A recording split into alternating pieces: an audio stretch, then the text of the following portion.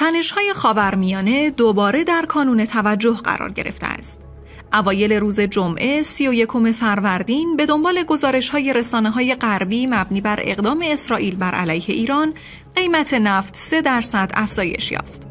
اما این افزایش قیمت فقط چند ساعت طول کشید و پس از آنکه رسانه های ایرانی اعلام کردند که پرواز چند ریز پرنده در اصفهان هیچ خسارتی ایجاد نکرده و آنها بلافاصله توسط پدافند منهدم شده اند نفت برنت به حدود 87 دلار در هر بشکه کاهش یافت.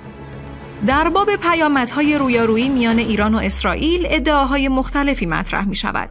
در این میان گروهی از ناظران در حراسند که تداوم تنش حاکم بازارهای نفت را به شکل جدیتری تحت تاثیر قرار دهد. این را هم نباید نادیده گرفت که بازارهای انرژی این روزها و در میانه تنشهای حاکم میان رژیم صهیونیستی و ایران آماده فوران بودند و با اعلام پایان پاسخ ایران به اسرائیل ناگهان همه چیز آرام شد. گزاره‌ای که نشان داد که چگونه حراس از رویارویی در غرب آسیا می تواند بزرگترین تولید کنندگان نفت جهان را با چالش جدی روبرو کند.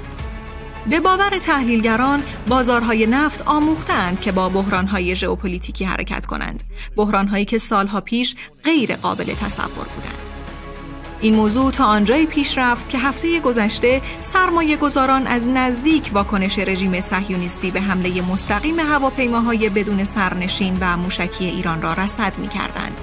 این روزها ترس از تشدید درگیری ها در غرب آسیا بازارهای نفتی را تحت شعاع خود قرار داده است و به نگرانی هایی در مورد اینکه آیا کشتیرانی از طریق تنگه هرمز نیز تحت تاثیر قرار می گیرد یا خیر منجر شده است.